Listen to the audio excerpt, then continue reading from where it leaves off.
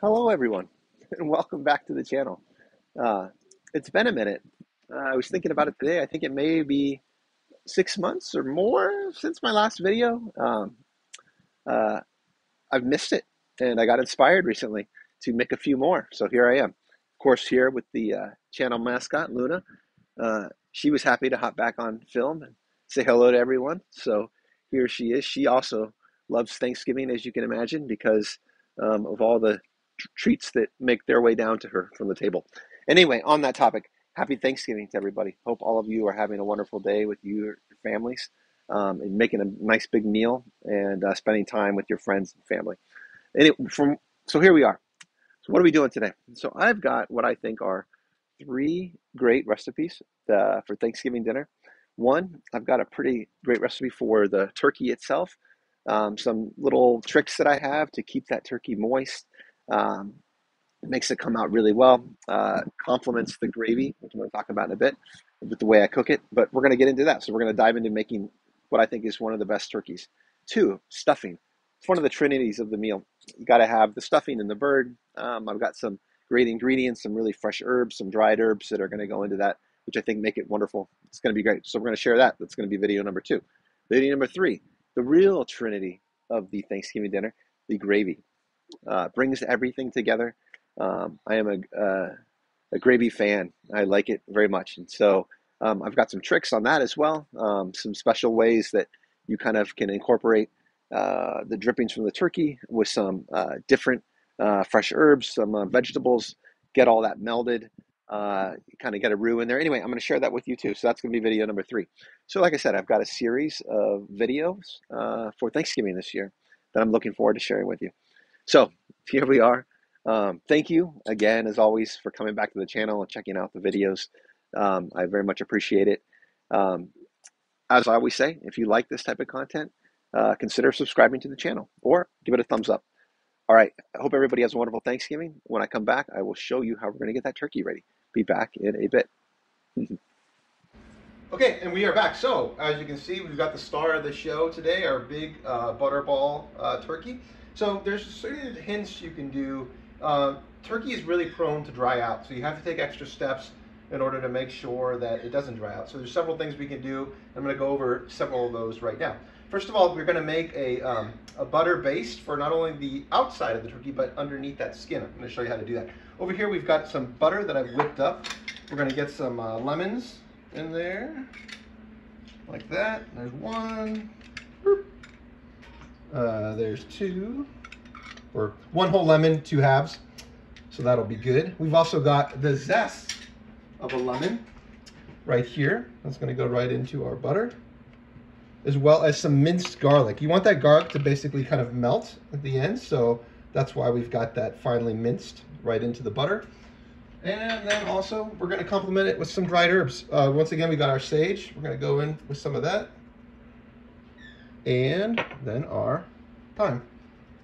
Okay, so now when we come back over here to our turkey, we're want to do this. Um, mind you, now we're to actually start touching the bird, so you have to be very cautious of what you're touching after we start touching this. You want to make sure your hands are clean. Don't touch anything after you've done all this prep. But back to it. So we're to go up underneath here. You can see the skin there. We're just to carefully go up underneath the turkey skin, being very careful not to cut the skin, but just go up underneath it, all right? And then we're also gonna do that same thing on the back, where we're gonna lift that up and just go underneath that skin. Once again, being careful. Oh, well, see if we can do it or not. We'll get back, we'll get that back later, but just so you guys get the idea, we're gonna go under the back and also the front. So what we're doing, basically gonna do is mix this all together our butter and our lemon and our garlic. Until we have basically like a ball like that all right? Okay we're going to want to go under there like that do a little push push down like this and then just push it throughout the bird. Wait is this really a butterball turkey or do you call it a butterball turkey because you're putting balls of butter in it? That's a very good point. we can call it both. Uh, anyway, so we're to get that uh, butter intermixed there. Like I said, in not only the uh, front, but also the back as well. Using that technique of just pushing it down.